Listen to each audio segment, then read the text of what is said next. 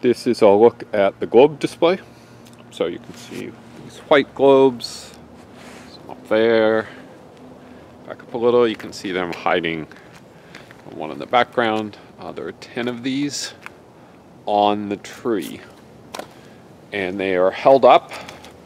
Well, first of all, kind of zoom in on one. So you see the globe. It's just a, uh, maybe that one would be better. It's a very typical globe that you'd have on a light fixture on a porch.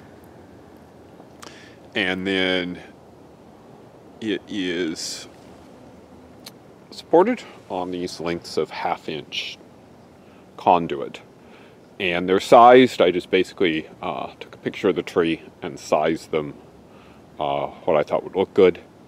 And the conduit is uh, five feet maximum.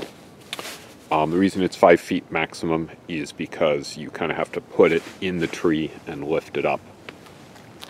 And then you can probably see they're kind of attached with rope so they don't fall over when we get wind and they all come back to this box here.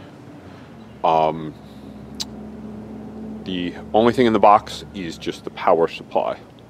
So that box sends out 12 volts to each of them. And then I brought some other, show you what's inside because I don't want to open out run up. So this is what's inside each of those. So it's a little uh, globe dodecahedron with 11 faces, and each face has three WS2812 LEDs on it.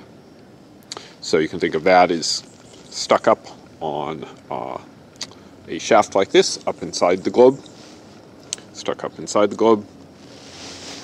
And then elsewhere, a little uh, ESP 8266 board in each of them, and that's running the program that does all the color change and all the fade. And then the only other thing inside each of them is a little 12 volt to 5 volt converter. And the reason I do that, the reason I run it on 12 volts rather than 5, uh, is that the nice part about using 12 volts is I don't have to worry about voltage loss. So, you know, some of these, like the this one here is really close, so it would have very little voltage loss. Um, there's another one that's probably 25 feet up on the tree, so it's going to have a considerably more voltage loss. And by putting a 12 volt to 5 volt converter, um, I end up with 5 volts at every globe. Um, I also probably could have used smaller wires than this, uh, but that was kind of what I had.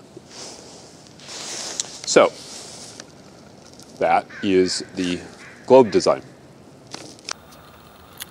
There's a close-up of the big bush with the animated balls on it. So the balls are about six inches. They are uh, white globes that you'd have covering like porch lights and with RGB emitters inside of that. And they're each running their own programs, but uh, a lot of times they sync up because they kind of run at the same rate.